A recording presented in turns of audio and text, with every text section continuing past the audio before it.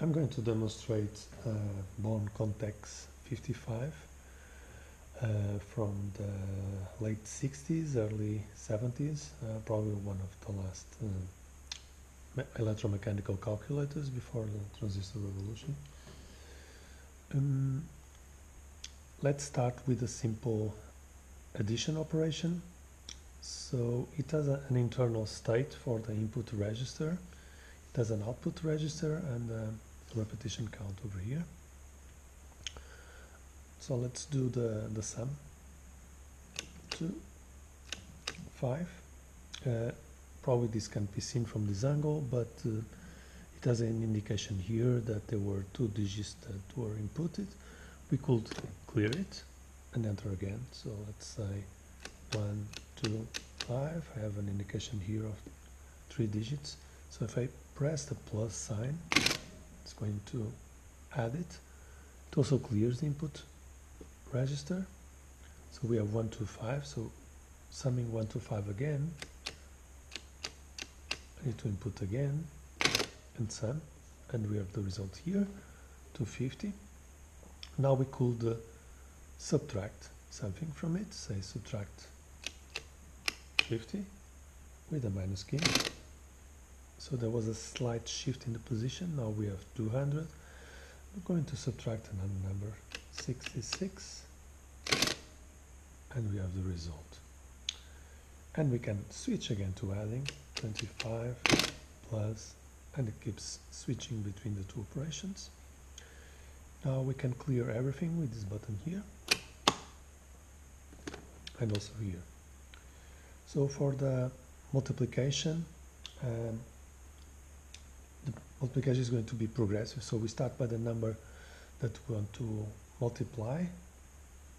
so it is 1, 2, 5. And then we press multiplication sign. And we are going to put the next number. So suppose we are going to multiply 1 to 5 by 2. We have the result here. And but we can continue multiplicating.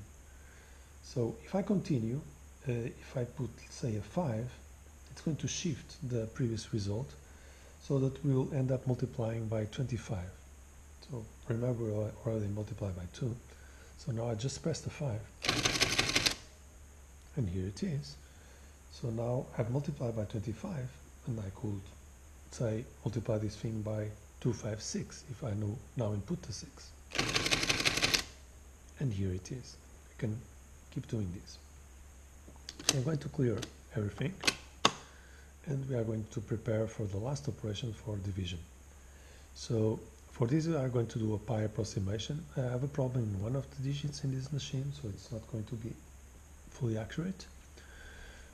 So I'm going to input um, 3, 5, 5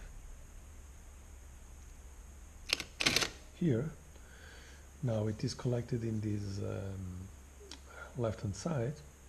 Now I'm going to put a number that I'm going to divide this number for. So I'm going to divide by 1, 1, 3, three digits here in input. So when I press, it's going to automatically get all the, the results by using this repetition count over here.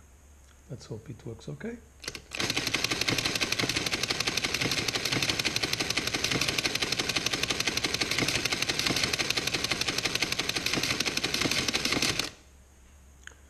So I have the result with an error here on this digit because of an error that I have over here, a mechanical error.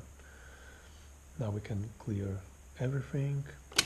If we had any problem doing the division, we could use the div stop. Typically this is used when we try to divide by zero.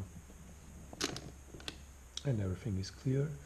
So this concludes the demonstration of uh, Bohn Contex 50, 55, which is one of the most developed, developed models of its series uh, before the production collapsed. Thank you.